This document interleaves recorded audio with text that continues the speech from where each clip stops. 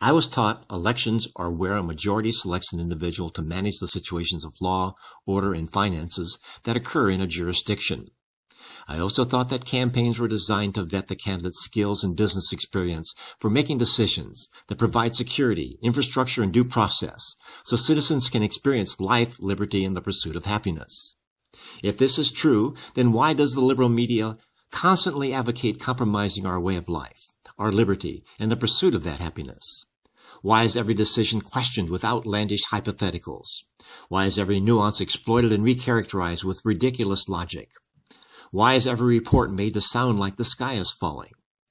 When did these non-elected experts start thinking they could demand our elected representatives follow every bit of their advice?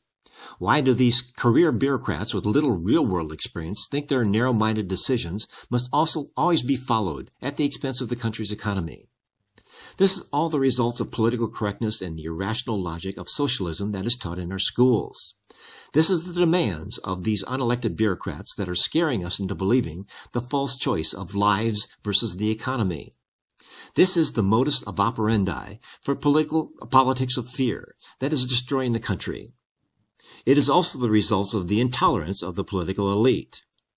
We do have free speech. We have the right to work, and we have the right to bear arms. But if you say something or carry a gun, they seem to prefer shooting an unarmed messenger.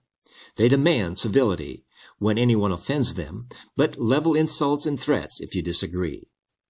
We have 26 million people out of work.